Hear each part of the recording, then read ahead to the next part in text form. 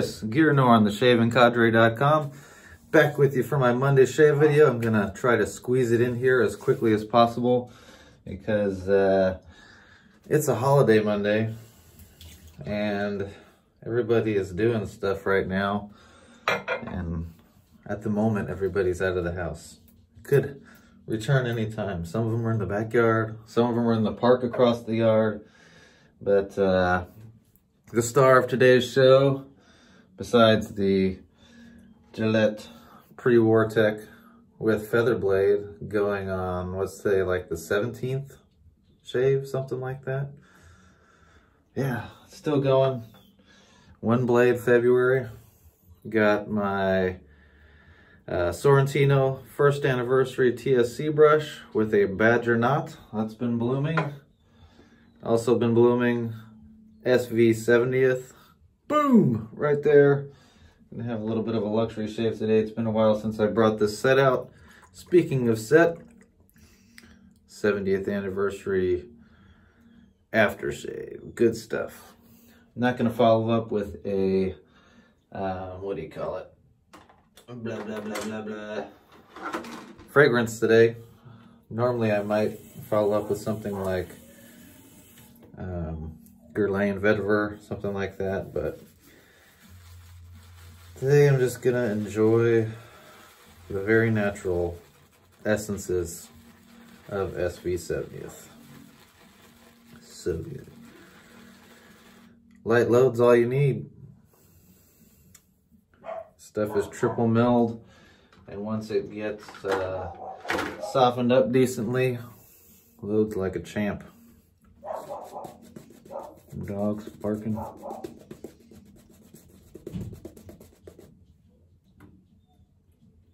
That's the little one. Anybody that gets too close to the door, she starts having a problem with. You're on my territory. Get out.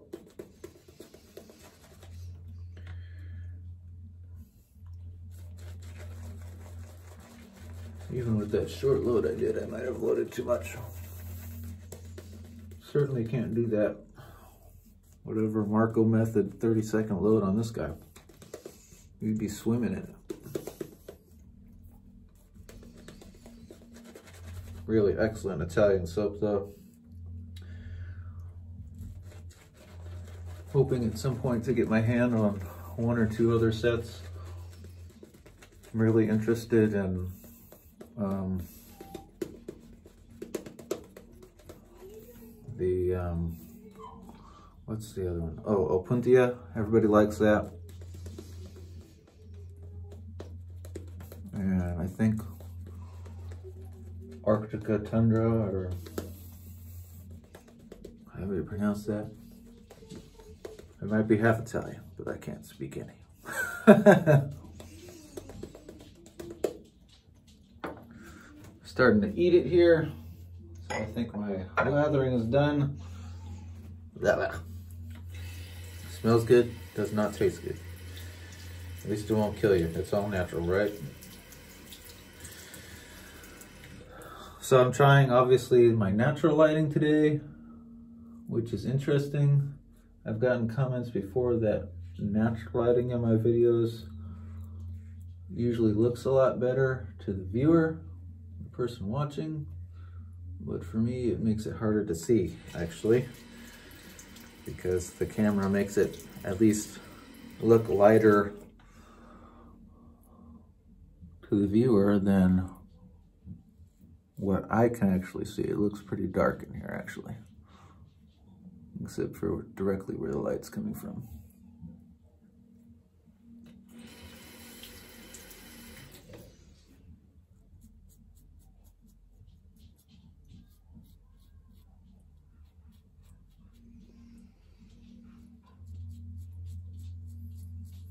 Countdown to Oahu is real.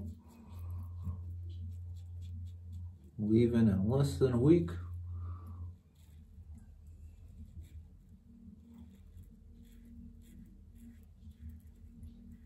This guy's gonna come with me, hoping that it makes the journey safely. I'm gonna bring it's gonna get checked with my Dopp kit and baggage, but I'm hoping that uh, this particular blade stays okay. I don't really have a special carrying case for it. Um, I will be packing an extra few blades, feather blades, in case that particular blade does not make it as much as I'm hoping it does. And I will be also packing my Trac II just in case the razor doesn't make it at all. We'll see.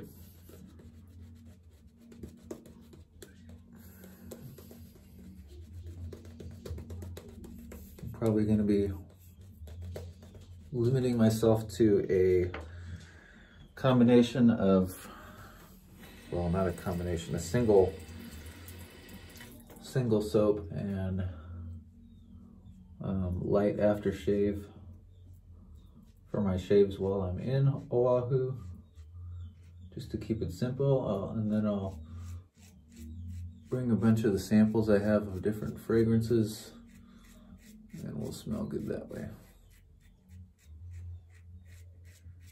Not quite sure what the bathroom situation is going to be. So, had to be prepared. There's going to be, what, like five, eight. There's going to be almost 15 of us in a house. It's going to be a big house granted, but I don't know the situation other than that.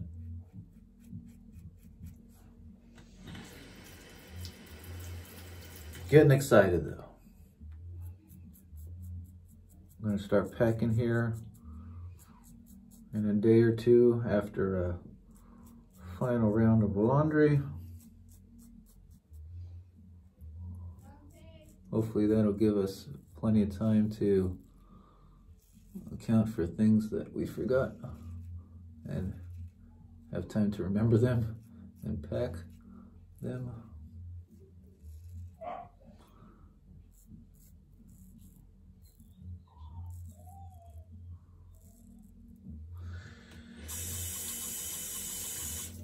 Hoping to find at least one little souvenir to bring back for myself. I'm kind of debating. I'd like to bring something back, but I'm sure other than super touristy stuff, I'm not gonna really find anything. What I really had wanted to do was pick up a Garmin GPS watch and kind of say like, I wasn't gonna get anything on the trip, but I'm gonna have to wait on the watch. Because the one I want the Instinct is about 300 bucks.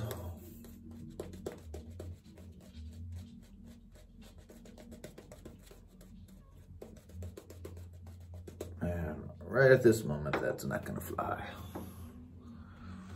So maybe I'll find a little something and bring it back, but I still got that in my sights. Uh, you saw it, if you were part of the TSC, you saw the watch I wore yesterday, my um, Citizen Blue Angels AT chronograph watch. Love that thing. That's my go-to dress-up watch right now. Way more functionality than I'll ever use.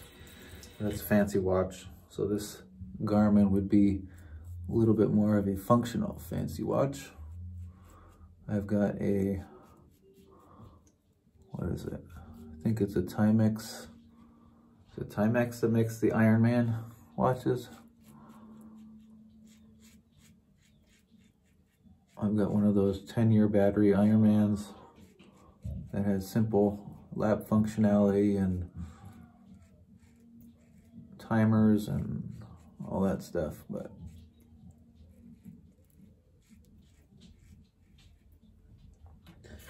I want something a little fancier. And plus that one's on a like nylon Velcro system. It was great when I got it. What is I've used it more for work. It just, I'd never buy another nylon band for the kind of work that I do. It just gets, I'm gonna be honest, stinky gross. Because the nylon cloth, whatever it is, just soaks up all the sweat and grossness. I'd much rather have a metal band or a um, rubber band.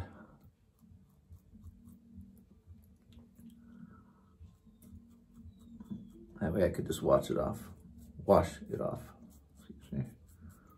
The only problem with the Instinct though, which is a, it's not as fancy as like the Fenix, Fenix Garmin watch, which is like insanely expensive. But unlike the Fenix, Fenix, however you pronounce it, the Instinct does not come with the sapphire window. And I don't know why, because it's marketed as a rugged outdoor watch. Kind of like to fit along the lines of um, something a uh, G-Shock watch could do, but with more functionality. But uh, G-Shocks are, for the most part, pretty cheap watches. But they're rugged, but you really don't, for the most part, care if the watch face gets scratched up, and it's really hard to do that anyway because of the raised bevel. But um, a $300 watch is a different story. Like my Blue Angel Citizen watch has sapphire window and right now with the window that I, or excuse me, the uses I get out of the watch, the metal band on that watch actually looks worse than the window. The window's not scratched at all. I think it might have one small scratch. Well, you know, the the wrist, bottom of the wrist area on the metal band is all scratched and scuffed and the window's holding out pretty nicely. I would like that option on the Instinct, but can't have it, can't have it. Still just an interesting marketing choice. I don't know why you'd, like the Fenix, Fenix has it, but I don't know why you'd want an outdoor rugged sport watch without as many protection options as possible.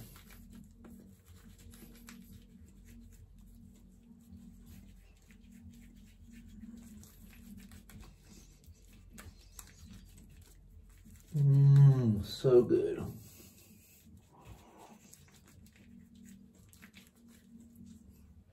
Let that sit for a minute while I wash out my brush.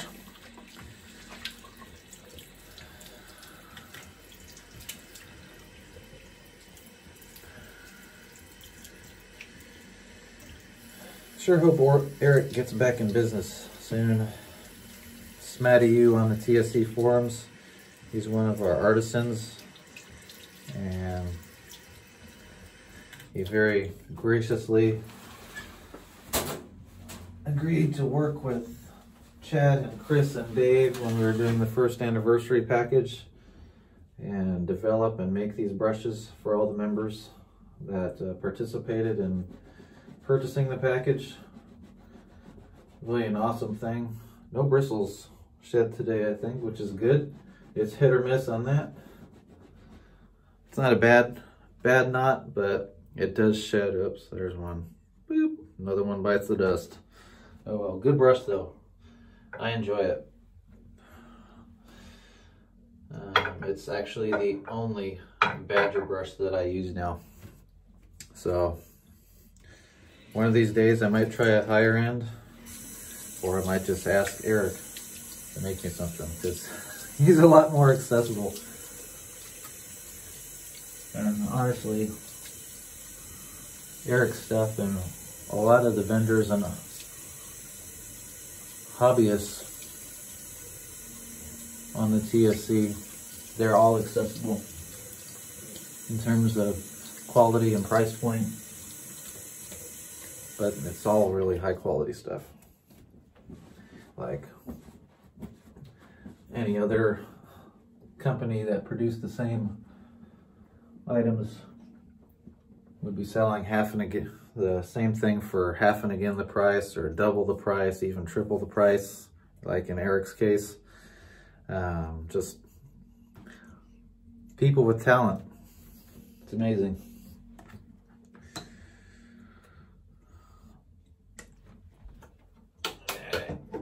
Get some generic witch hazel on here.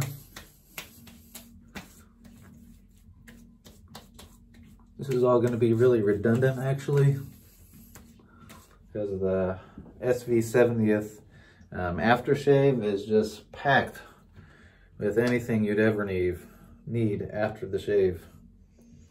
Got some Thayer's medicated. I have come to really enjoy the benefits that witch hazel provides. All right, here we go. SV70th aftershave is one of those shake deals I normally hate doing this, but in this case I'll make an exception. Get a few drops, you don't need a lot. And the scent just lasts. Stays with you all day. Skin feels great. Mmm. Fresh Italian, yes. All right, that's it for this week. Hope you all have a great week. I'm gonna try to do some video recording uh, during our vacation. Uh, we'll see if I can get a shave recording out. It probably won't be published during next week, but maybe when I get back. I don't know what kind of capabilities I ha have. I'm going to bring a laptop or anything like that, I don't know. Uh, that's all up in the air right now because we only have so much space and we're probably gonna have to bring things back as well, whatever the kids pick up and all that. But looking forward to a great time. Hopefully we don't catch coronavirus. There was just a report released this, released this morning that uh, some couple or something from Japan flew into Hawaii, had their vacation, and as soon as they came back home, they were diagnosed with coronavirus and they evidently might have shown symptoms while on vacation. So we're going anyway. Cross your fingers, say your prayers for us.